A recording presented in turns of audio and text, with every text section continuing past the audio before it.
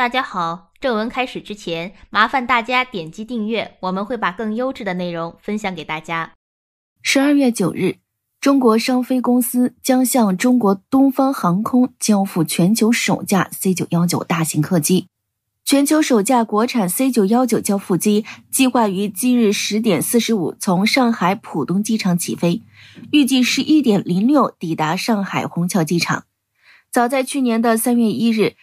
东航与中国商飞在上海签署 C 九幺九采购合同，首批五架 C 九幺九引进后，将以上海为主要基地直飞国内航线。虽然由于疫情和适航证等原因，C 九幺九没有实现二零二一年底投入运营的规划，但是好饭不怕晚，现在该来的终于来了。从一九七零年我国自主研制的运十飞机立顶。到二零一七年，C 九幺九首飞成功，历经四十七个春秋，中国人的大飞机梦终于成真。飞机设计有多难，在运十飞机副总设计师程不时看来，智研飞机就犹如谱写一首自己的歌。而 C 九幺九并非循着前任的曲子填词，而是重新根据需求创作新曲。二零零八年，中国商飞公司成立后，从初步设计到详细设计，再到机体制造，C 九幺九走过了七个年头，两千多份机翼图纸、机头、机身、机翼、翼吊、发动机等一体化设计，近两千项专利申请，拥有完全自主知识产权的干线飞机 C 九幺九，全部设计均由中国人自己的团队自主完成。大飞机是我们建设创新型国家的一个标志性工程，也是一个国家装备制造业的标志。中国工程院院士张彦仲说：“C 九幺九大飞机的研制不仅仅是一个飞机本身，它可以带动材料、装备制造、电子系统、信息等一系列产业的发展。”的确，在 C 九幺九研制过程中，我国大型客机技术创新体系逐步形成，吸引和带动了多所高等院校。和多家企业参与大型客机项目研制，五个大类，二十个专业，六千多项民用飞机技术。C 九幺九的设计研制带动了我国的技术、材料、工艺的群体性突破。C 九幺九有何骄人之处？与同类型飞机相比，它在安全性、经济性、环保性、舒适性方面特色突出。一、采用先进的气动设计，气动阻力比同类型飞机小。二、安全性大家最关心，它完全按照国际适航标准设计，确保了安全性。三、与同类型一百五十座级飞机相比，经济性能更好，因采用了先进的动力系统，它排放的尾气和噪声比现有的飞机要低百分之五十以上。二零二二年五月十七日，共青团中央发表了一篇题为《都二零二二了，还有人说我们造飞机只是造了个壳子》的文章。告诉了大家 C 九幺九的制造历程，在 C 九幺九立项之初的二零零九年定下的国产率指标，据称只有百分之十。一个大原因是国内航空制造业薄弱，连最为基础的铆钉都要到二零一三年才获得适航认证。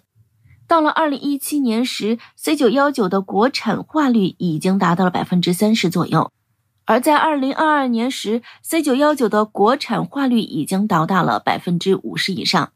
我国的民航制造领域正在快速崛起，从早期的供应商列表中都是外国公司相比，目前大都已经换成了国产零配件。未来随着 C 九幺九的大量生产，还将再扶持一大批国内供应商，特别是 CG 一千 A 发动机成熟后，我国在民航机发展。再也不会受到国外的因素制约。从二零一七年四月，我国就开始着手申请欧洲 EASA 适航证。欧空局派来的人跟 C 九幺九试飞试验的现场都快跟了十年。我觉得最终 C 九幺九拿到了 EASA 的可能性比较大，但拿到 FAA 的的确是有点难。要知道，中国在二十一世纪新研发的支线客机 ARJ 二幺。在申请 FAA 的过程中，经历了各种屈辱经历，来来回回折腾了上十年，最后也没有拿到证。但没有适航证，中国国产大飞机就走不出国门了吗？答案是不一定的，因为我们还忽视了一个重要的东西——双边适航。如今，中国已经签了超两百份双边适航协议，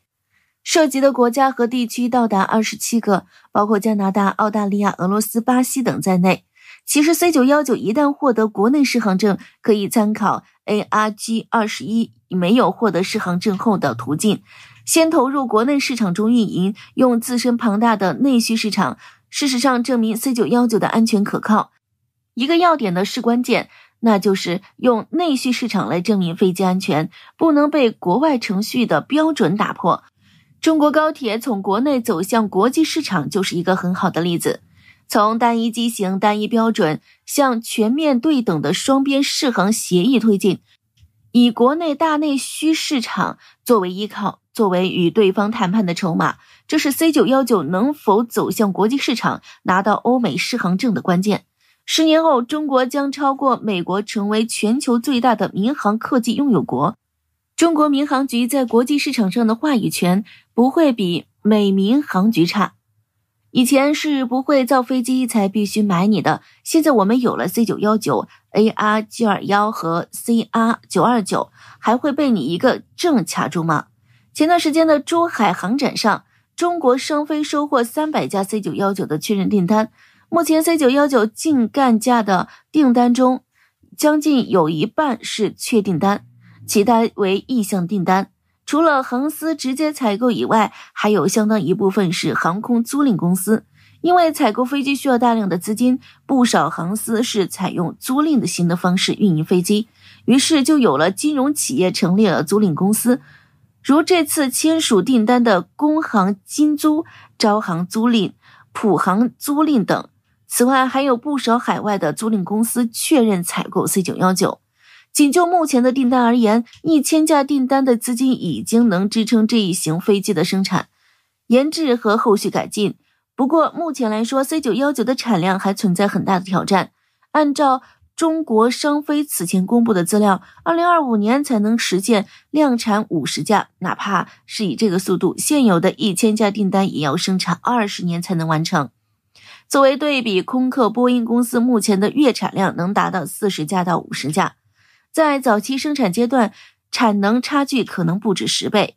再一个，大型客机生产所涉及的供应链遍布全球，一旦出现风险和意外，也会对飞机的产能造成影响，